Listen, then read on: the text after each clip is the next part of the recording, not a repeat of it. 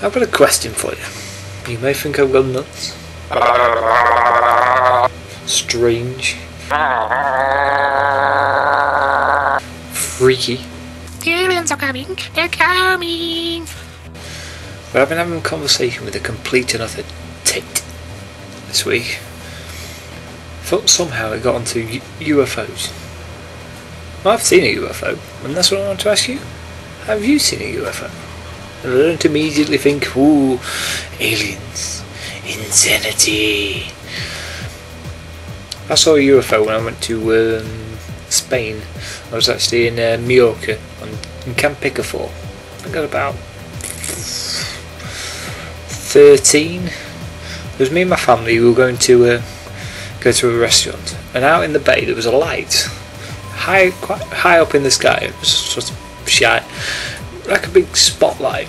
I didn't think much of it, so we just wandered off. Had a dinner at the restaurant, and then when we come back, it was still there in exactly the same place. It was sort of hovering. There was no noise, and it was not over land, so it wasn't on like a scaffold or crane or anything. And it was just there. So we were watching it, there was other people watching it, lots of Germans. And the, the light zipped off over the top of our heads. It was really strange, I don't know what the hell it was.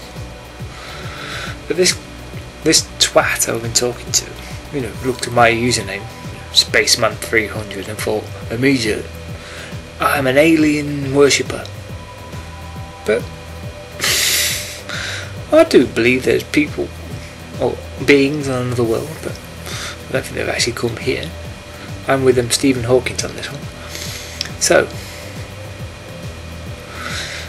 leave a vid- video response or a um, comment down below.